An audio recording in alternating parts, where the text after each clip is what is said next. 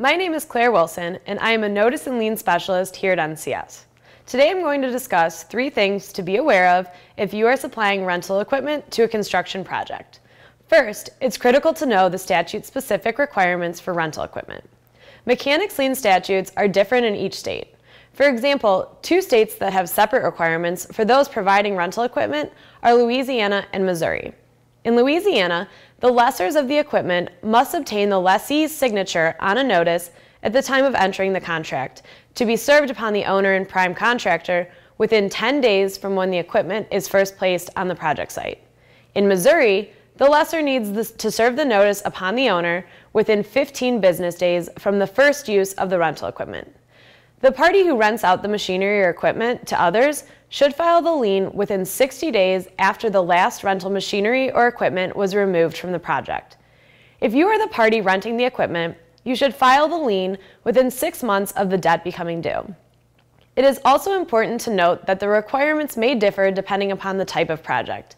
In Illinois, for example, rental equipment is protected by the lien statute on commercial projects, but there is no protection for suppliers of rental equipment to residential projects. Next, it's vital to know your last furnishing date. Typically, the, only, the owner is only responsible for the work that was performed to improve their property. Therefore, the last furnishing date would be the last date the equipment was used on the job, not the date the equipment was picked up or serviced. Even if the service of the rental equipment is part of the contract, the date the service was received is not used to determine the last furnishing date. Finally, it's important to know that multiple liens may be required.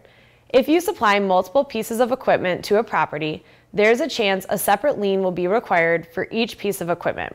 Attorneys have conflicting opinions as to whether a separate contract for each piece of equipment requires separate liens or whether one lien would suffice and it's quite possible that two attorneys in the same state would have differing opinions.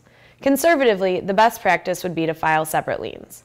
Even though each state may not specifically address rental equipment within the statute, it does not automatically mean you won't be entitled to secure mechanics lien rights. Therefore, it's best to serve a notice on every project. Make sure you follow statutory parameters, and when in doubt, seek a legal opinion. Let's quickly recap the key takeaways from this video. As a creditor supplying rental equipment to a construction project, it's important to know the statute-specific requirements as they differ from one state to another, your last furnishing date, which is the last date your equipment was used on the job, and if you supply multiple pieces of equipment to a property, there's a chance a separate lien will be required for each piece of equipment. Are you wondering if you can secure mechanics lien rights on rental equipment or need help doing so? Contact NCS today with the information on your screen. Thank you for watching and have a great day.